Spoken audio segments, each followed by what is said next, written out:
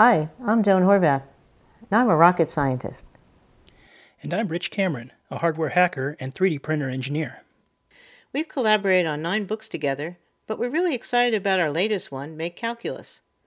We think calculus is really pretty easy if you think about it as geometry before you get too tied up in algebra.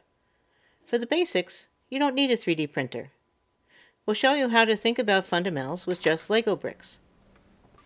If you do have a 3D printer though, we show you how to create cool models. All of our 3D printable models are open source, and you can share them freely from our repository. They're written in a code-based CAD program called OpenSCAD, so you can change them and learn some code too along the way. Some of these designs will also generate a paper version that you can cut out. For example, the rate at which a curve is changing is called a derivative. The derivative here is this part of the model.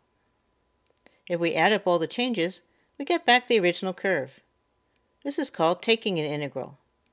These two curves are related in this way, and it's easy to see with these models. It's even more fun with sine and cosine curves, where you can show the rate of change of the rate of change and so on, and go the other way to add the changes back up.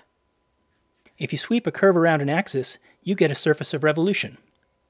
They can be hard to imagine and work with, but a 3D printer really helps a lot.